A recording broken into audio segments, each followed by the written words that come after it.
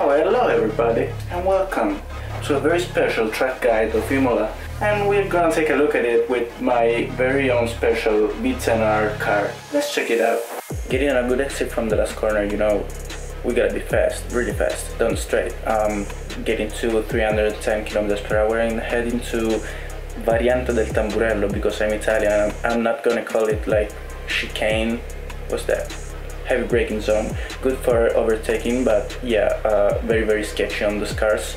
Uh, obviously, if you get with Formula cars on this track, yeah, you're gonna be super super super easy on brakes and acceleration. Then we have turn 5 and 6. You do it perfectly, you're gonna get to the hairpin because no one calls it Tosa corner, hairpins are just hairpins. And then we get to the best section of the circuit, uphill into Rivazza, Rivazza, sorry, I, you know, English, Italian, too difficult.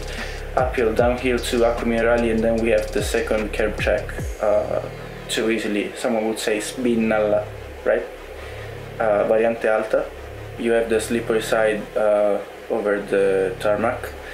Anyways, uh, heading to the last two corners, the best, probably the best part for overtaking because we go, we're going uh, downhill and it's a heavy, heavy braking zone. So you can easily overtake someone there.